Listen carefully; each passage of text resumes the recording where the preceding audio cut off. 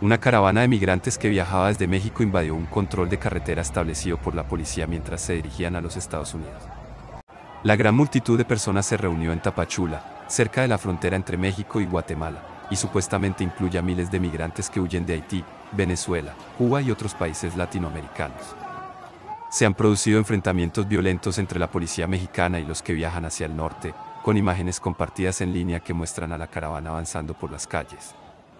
Las imágenes muestran a la policía encontrándose con los migrantes con escudos y golpeándolos cuando intentan cruzar barreras.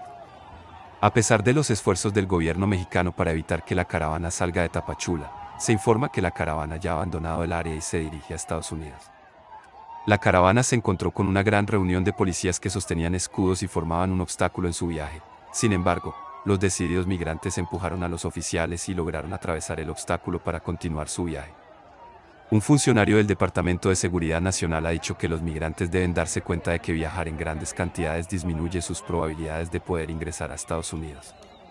El número de detenciones de inmigrantes indocumentados que cruzan a los Estados Unidos desde la frontera sur alcanzó un máximo histórico en el año fiscal 2021 después de superar los 1,7 millones, según los datos de aduanas y protección fronteriza obtenidos por NBC News. Más de 192.000 inmigrantes indocumentados se encontraron con la Oficina de Aduanas y Protección Fronteriza el mes pasado, lo que representa una ligera disminución de más de 200.000 en julio y agosto.